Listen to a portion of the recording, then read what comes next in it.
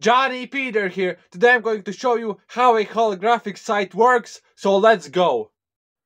Alright, so how holographic sights work, oh I can see myself, um, it's uh, pretty damn simple really.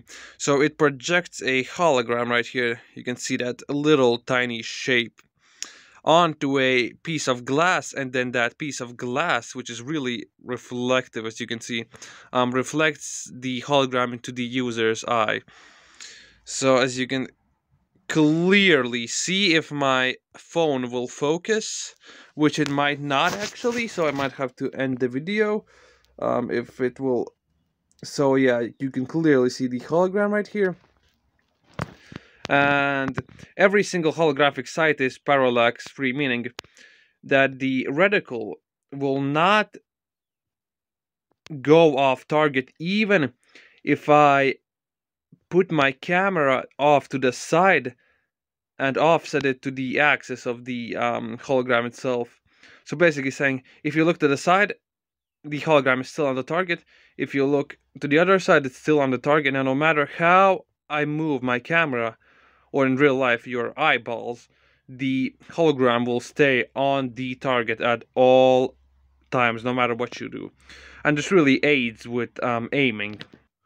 So this model that I have is uh, completely legit, totally real mm, EOTech right here. And the internal structure looks something like this. There's two of them, okay, but this this one uses um, a mirror at the bottom and a mirror at the top and a mirror right here. This is what I do not have, okay?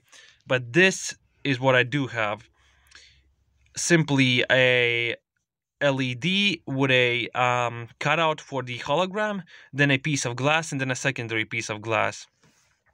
And how I was able to tell that I have this model right here, well, if you look um, at the very top right here, at the very middle, you can see that it's completely flat. There is no mirror. Whereas in this model, there is a mirror. So I have um, this one, sorry, this model right here. Um, what's the difference? Um, um, I really don't know. I, I can't tell you that. I'm not gonna lie. But uh, they pretty much do the exact same thing, these two models, okay? Okay, now I'm gonna show you the parallax yet again. So I have the holographic sight set completely still. And let me just focus that. And look where it's um, the reticle is on the very corner of that wooden box right here. Let me just slowly move the camera. And look at that, the reticle stays completely still on that corner. No matter how I move it, no matter how far or, or, or close I get it, it perfectly stay, uh, stays still on that target. Look how cool that looks. Even on the very edge right here, even on the very edge, it stays still on the target.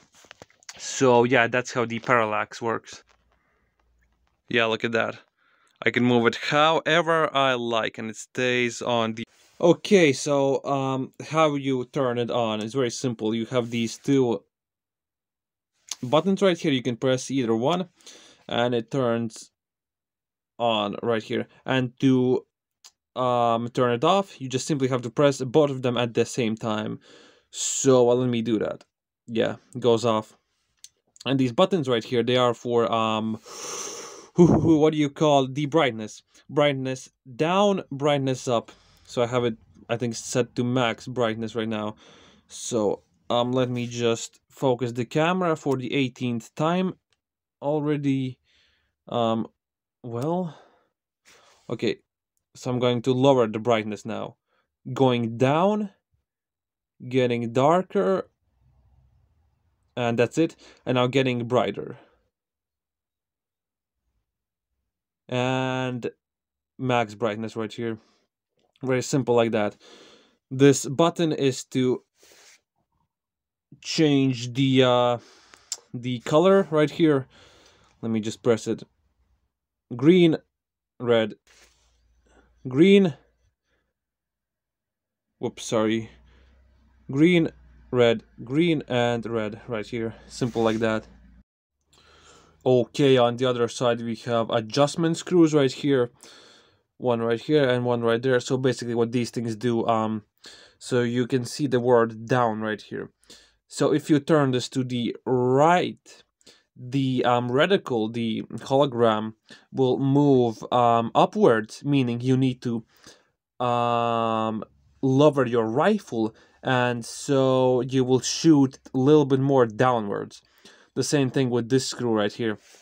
It moves the hologram to the left so now you need to um, move your rifle to the right and the bullets will go fly more to the right. So these are for the uh, adjustment right here. So next up we have the battery. There's a little bit um, of a wire so you wouldn't lose this cap but basically you just screw this open put a um, 3.7 volt rechargeable battery and you are good to go. So what else? So yeah oh yeah this is the um, locking mechanism right here.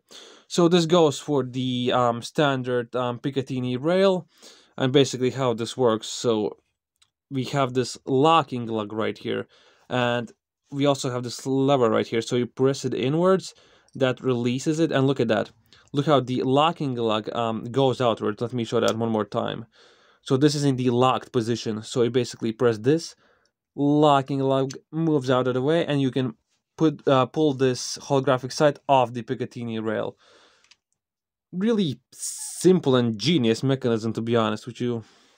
So uh, yeah I don't know what else I can say about this holographic sight that's pretty much it. So one last thing let me just um, go outside and show you this in the natural lighting.